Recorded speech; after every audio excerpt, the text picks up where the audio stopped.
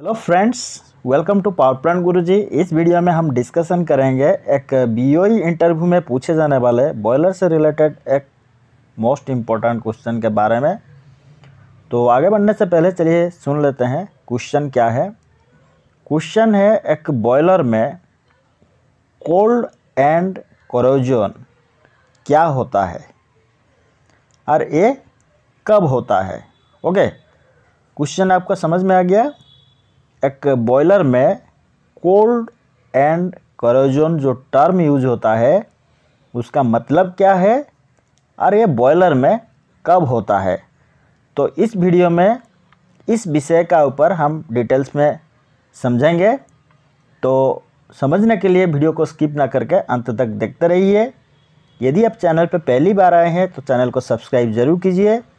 यदि ये वाला वीडियो आपको पसंद आएगा तो इसको लाइक शेयर ज़रूर कीजिएगा। तो एक बॉयलर में कोल्ड एंड करोजन जो टर्म यूज़ होता है, उसका मतलब क्या है? उसको समझने के लिए हम थोड़ा बेसिक से शुरू करेंगे।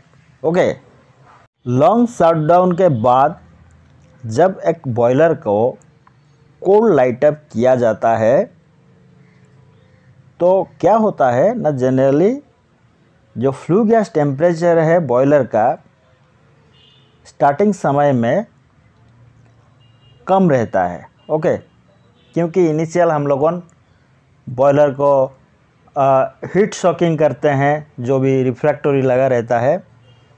और फिर जो स्ट्रेस है ट्यूब का, उसको देखते हुए थर्मल शॉक ना हो बॉयलर ट्यूब में, वो सब चीज़ को ध्यान में रखते हम जो फायरिंग रेट हैं, धीरे धीरे बढ़ाते जाते हैं। ओके कोल्ड लाइट अप में। तो उस समय जनरली जो बॉयलर का जो फ्लू गैस टेम्परेचर है, कम रहता है। ये कम टेम्परेचर रहने वाला फ्लू गैस बॉयलर में कब प्रॉब्लम क्रिएट करेगा?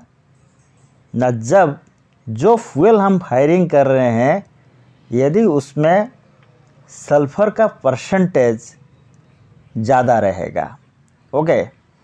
क्योंकि कंबूशन प्रोडक्ट में जो सल्फ़र निकलता है, वो यानी कि सल्फ़र डाइऑक्साइड ये मॉइस्चर के साथ फ्लू गैस में जो मॉइस्चर रहेगा, उसके साथ मिल के सल्फ्रिक एसिड फॉर्मेशन करता है। ये कैसे फॉर्मेशन होगा? न जब फ्लू गैस का टेम्परेचर सल्फ़र का ड्यू पॉइंट टेम्परेचर का बराबर होगा, तब ये जो सल्फ्रिक एसिड है, ये फॉर्मेशन होगा फ्लू गैस में। और ये क्या करेगा? ना जो भी ट्यूब से ये ट्यूब्स में ये एसिड अटैक करेगा। सल्फ्रिक एसिड फॉर्मेशन होने के वजह से बॉयलर का मेटल सरफेस में जो करोजन क्रिएट होगा, उसको कोल्ड एंड करोजन कहा जाता है, क्योंकि ये जनरली बॉयलर का कोल्ड लाइटअप का समय में फॉर्मेशन होता है। मतलब उसका मैक्सिमम जो चांसेस है, ये बॉयलर का कोल्ड लाइटअप का समय में भी ज़्यादा होता है। तो बॉयलर में कोल्ड एंड करोजन को एवॉइड करने के लिए हम क्या कर सकते हैं?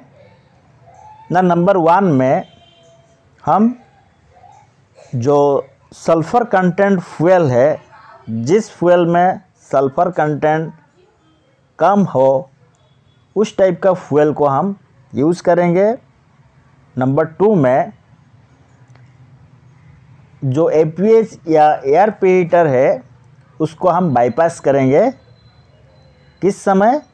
ना ड्यूरिंग लाइट अप क्योंकि यदि हम उसको सर्विस में रखेंगे तो वो भी फ्लू गैस का टेम्परेचर को कम कर देता है एयर हीटर जब तक फ्लू गैस का टेम्परेचर सल्फ़र का ड्यू पॉइंट टेम्परेचर से ज़्यादा ना हो, तब तक हम एयर हीटर को सर्विस में नहीं लेंगे।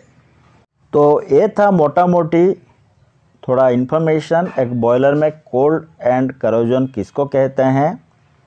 उम्मीद करता हूँ दोस्तों, इस वीडियो देखने के बाद आप कोल्ड एंड करोजन के बारे में थोड़ा बहुत बोल सकते हैं। वीडियो देखने के लिए बहुत बहुत धन्यवाद।